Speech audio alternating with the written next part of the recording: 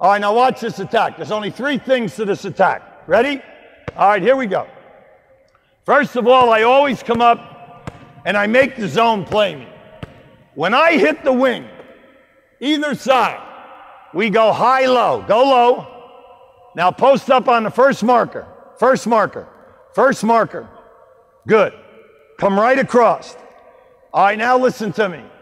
Leave an area and replace against full court, three quarter court, half court zones. Always leave an area and replace.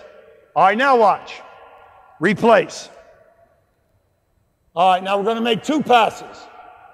Throw the ball into the post. We throw the ball into the post. He immediately X cuts through the zone and looks right there. Fill that spot. Fill that spot. You, you make your move, you got a one on one, you got him, give it to him. No, bounce, give it to him. Come on, bounce it. All right, go, lay it up, lay it up.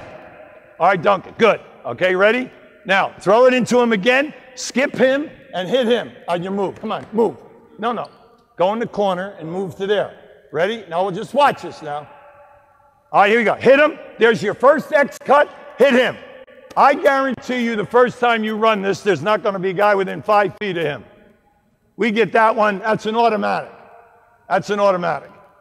But more important, you got to play a short, you got to play a long, and you've got to be able to do the other.